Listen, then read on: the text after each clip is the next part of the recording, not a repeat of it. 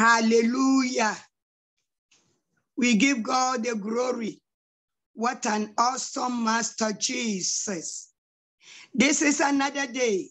He has given us a breath for the people around the whole world. May his name be adored.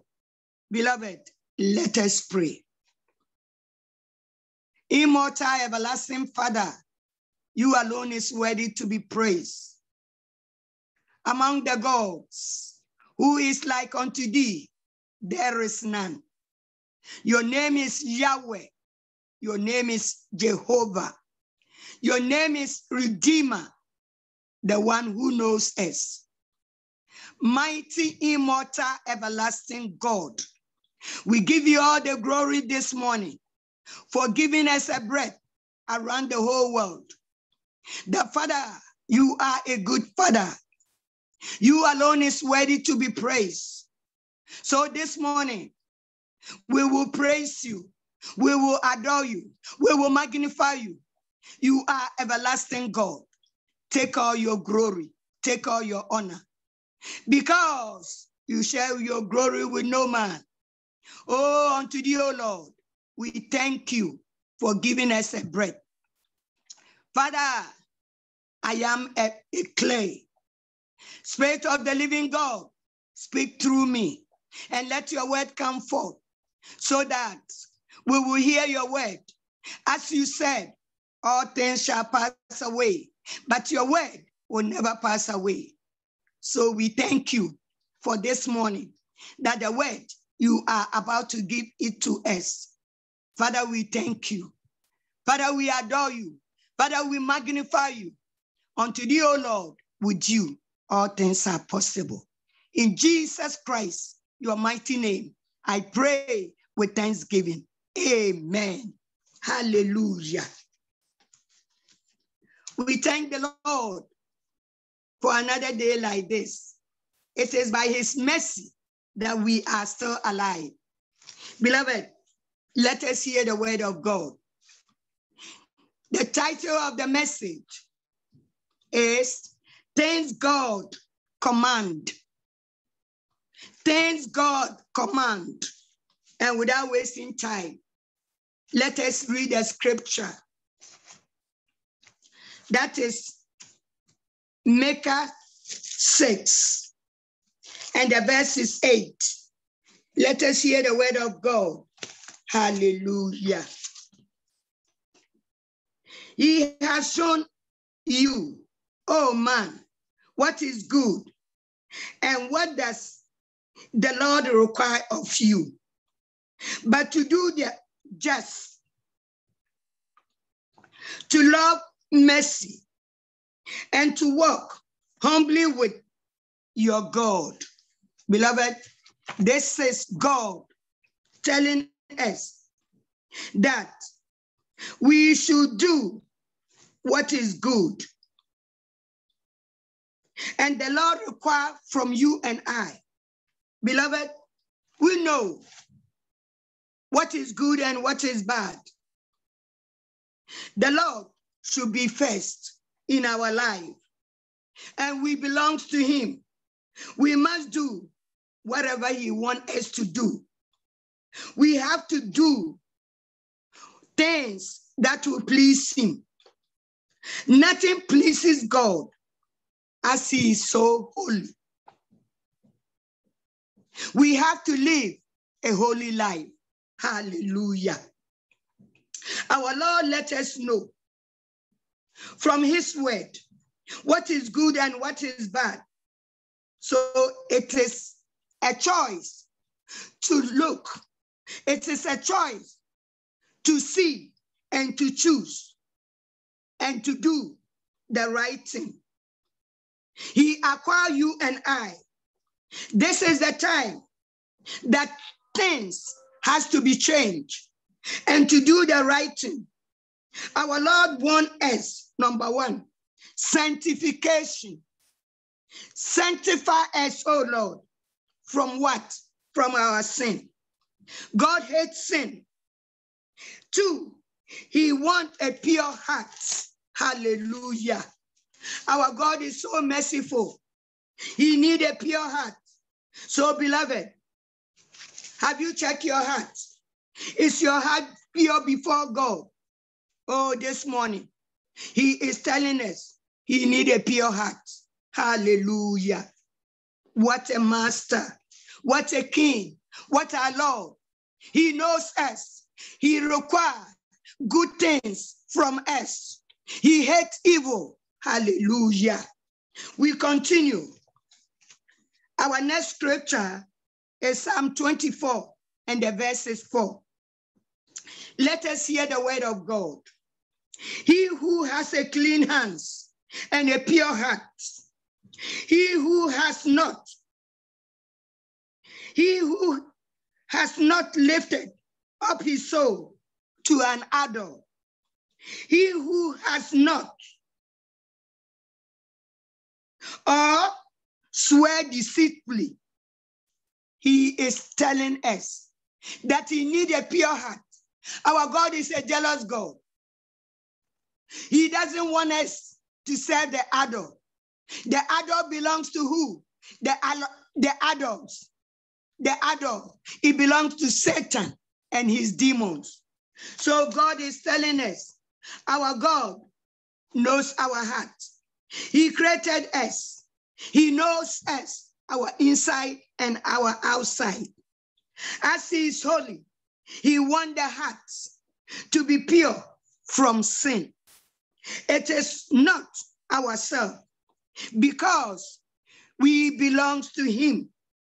We have to trust the Lord. Hallelujah. Oh, he's worthy to be praised. We continue. Our next scripture is Mark and the verse, Mark 12, verse 30 and 31. Let us hear the word of God. Hallelujah. And this is by our Lord Jesus Christ, the owner of life, the one who knows you, the one who controls everything belongs to him. Let us hear his word.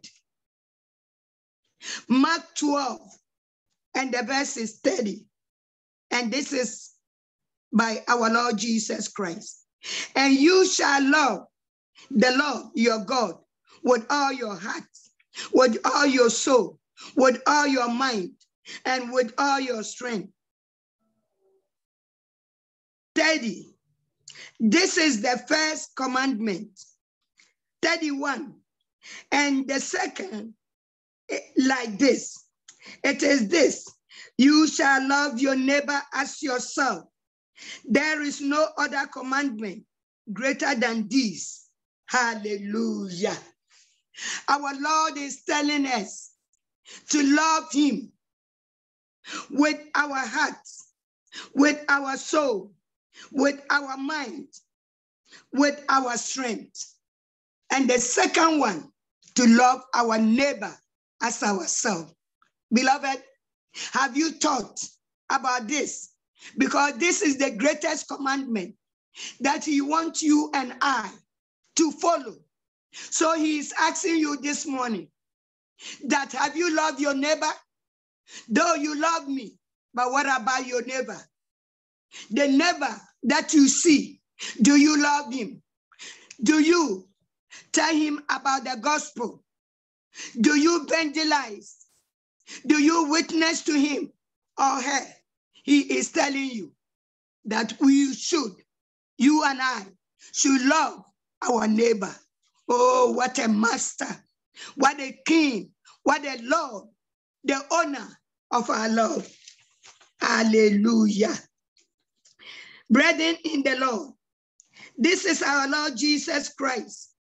He is telling us that we have to obey. This is his commandment. Christ died for you and I while we were yet sinners. So, beloved, whatever God say, we have to do it. We have to honor him. Hallelujah. He is in control.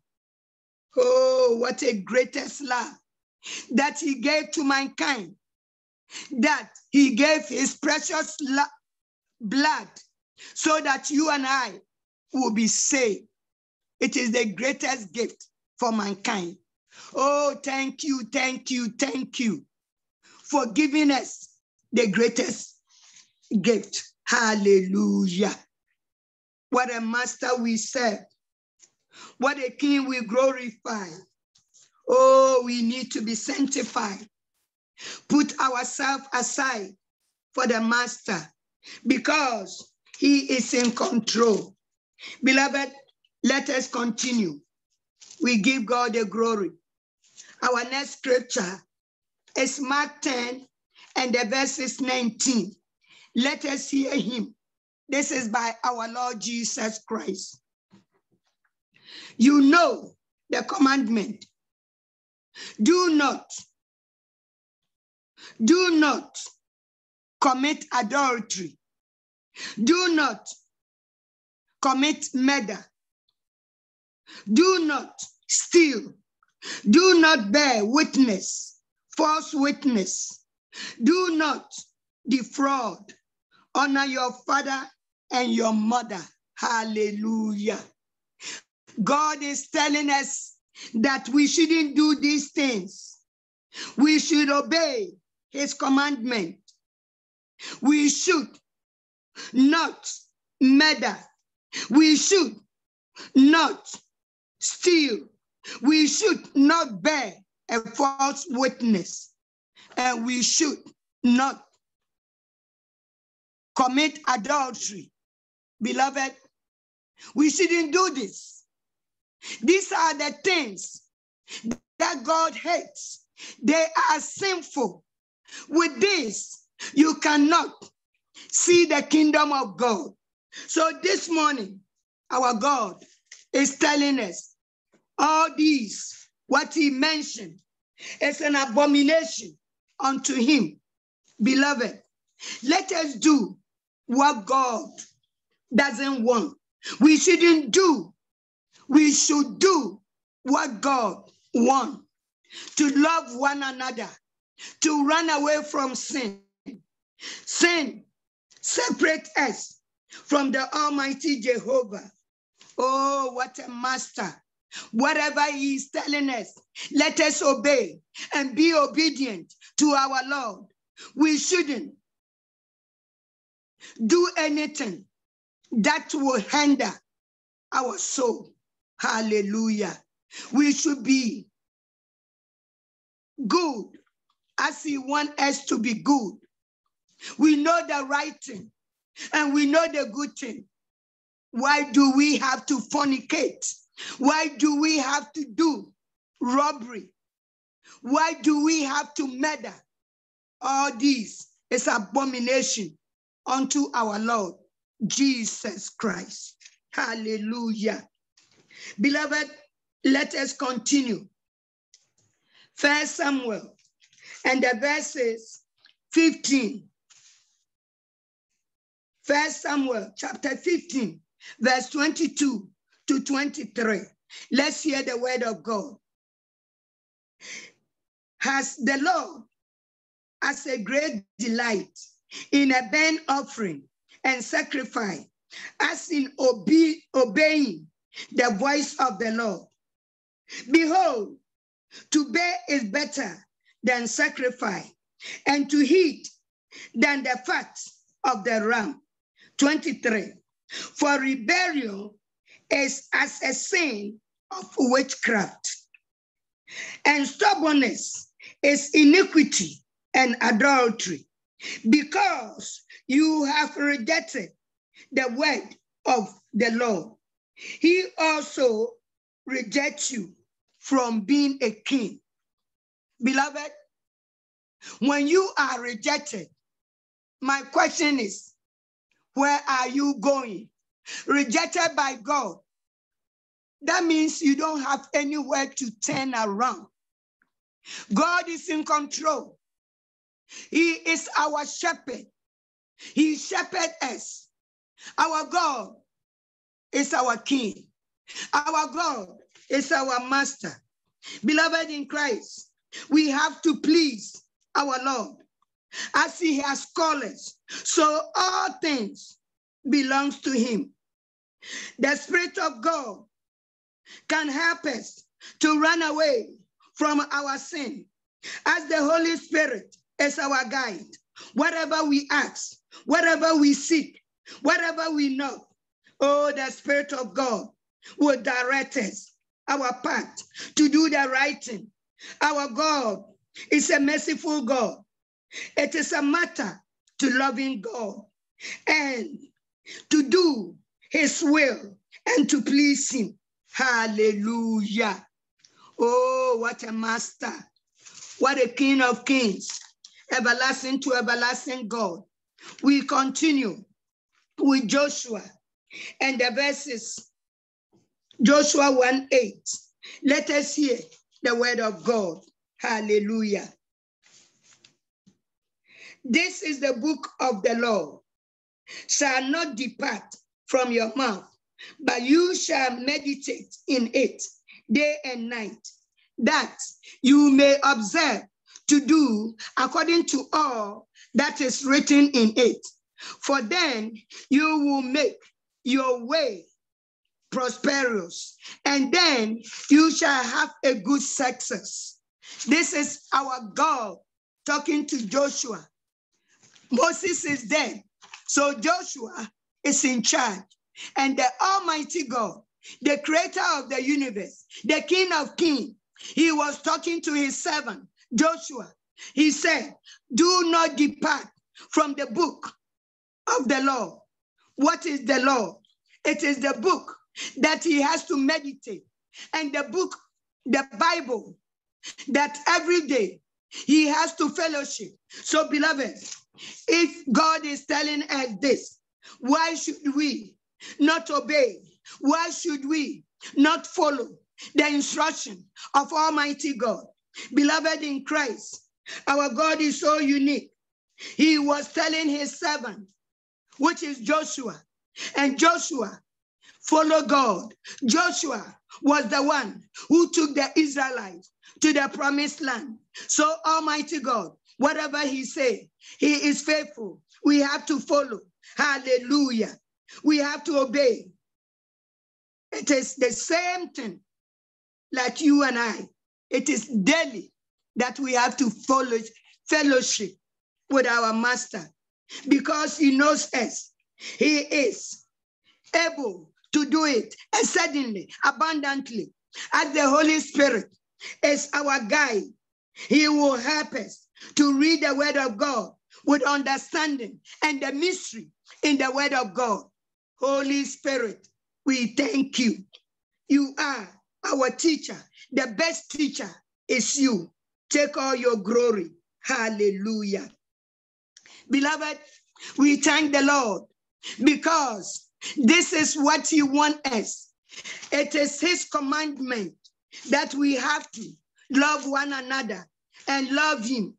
So all these are things God wants us, the things God command us to do. So this morning, are you willing to obey whatever God is telling us through the scriptures that He has given to us? Almighty Jehovah, we will follow, we will obey. It is you alone that we need. We need a word to strengthen us, to comfort us.